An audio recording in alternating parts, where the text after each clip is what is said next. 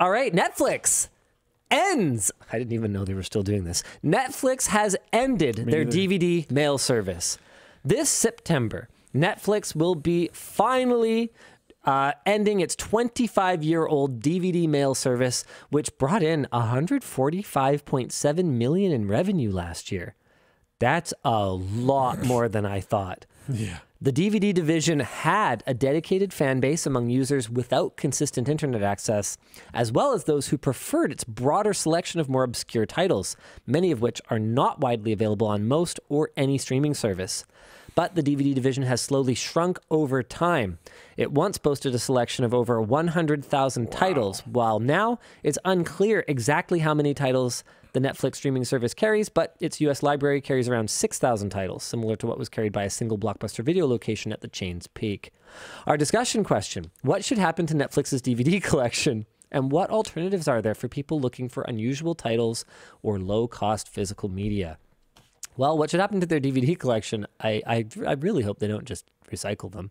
That would suck. Maybe if they just left them with the last person who rented them, like I don't know. Like on, honestly, like what I'd, I'd rather they not just end Keep, up in keep the, garbage. keep the service going for a while, but you just don't have to return it anymore. Yeah, like that that'd be kind of chill. That that'd be super cool. That'd be pretty sweet. Um, for people looking for oh, man, what alternatives? Do I say it? like what do you what do you Uh. want from me? If if if rights holders won't make their media available, at that point, I mean that's down to your own personal moral compass, right? Like you, know, if you want to watch it, like why is someone standing in your way? Why do you why why tolerate that? Privateering. I didn't say it. It's becoming more popular. is- if it is available by legal means, of course, you know, you it, it's it's how creators are compensated. But if it is not available by legal means, It's not like you could compensate the creator by buying it Yeah, if you can't buy it. what do you want from me, right? It it's uh it's very interesting to me that like honestly, three years ago, people didn't really talk about piracy that much. Oh yeah, it was kind of dead. Yeah, Spotify, Netflix, it's like yeah.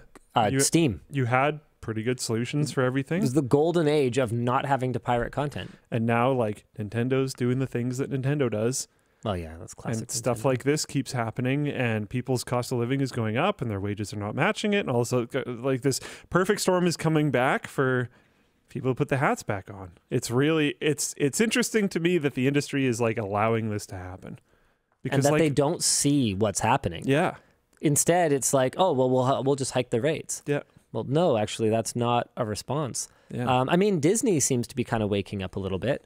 Apparently, they're going to be loosening the restrictions that they've put on uh, licensing their own IP to third party services because they figured out what a gigantic hit to their bottom line it was.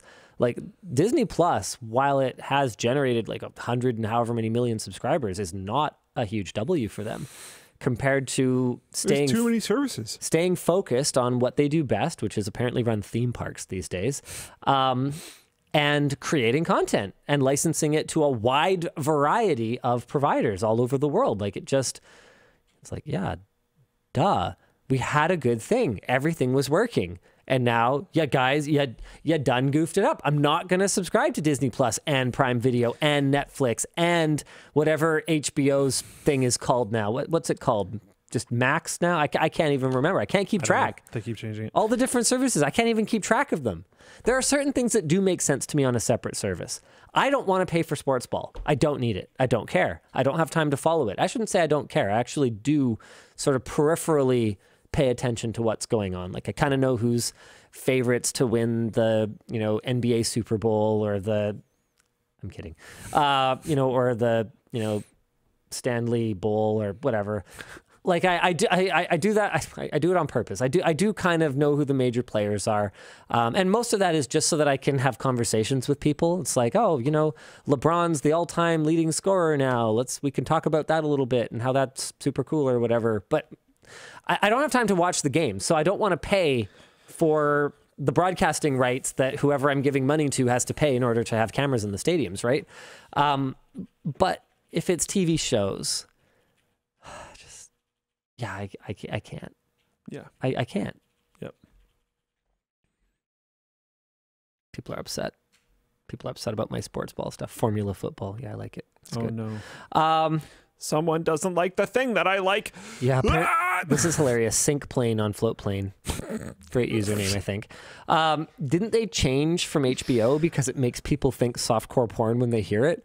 What? Not necessarily that, but it apparently, yeah, they changed the branding because it makes people think of like very adult content. Oh. and they want to do more like it's it's Warner Media who owns them now, right? So that's where you're going to get this new Harry Potter um, television series that Oh. frankly feels very unnecessary. I'm not even going to wade into the controversy around the author. I want no part of any of that. But Isn't that media's whole thing right now is like resurrecting dead series and just making it bad? I mean, I guess Like that that's a that's a pretty consistent trend. I'm not surprised it's happening. It's just it's happening to everything. How do we, how do we ruin this? But there's talks about remaking Princess Bride if you want it to be more on the nose. Okay, hold on a second though. Princess Bride came out in like 1984 88, whatever. It can't It's old. Yeah, it, it's old. It's at least old. Harry Potter's body isn't even cold yet. Literally. For real though. the actor is like still Like young. yeah. You know? act in it. I just I, I man, I just I can't. Yeah. Oh, oh yeah, Twilight is apparently also getting a TV series. Yeah, you want to talk things that are unnecessary. But no, the thing about the Harry Potter one that feels particularly unnecessary is that they were good. They were already good. Twilight, I mean, at least you could make the argument that maybe they could make it better this time. Probably not though. Rough. Yeah.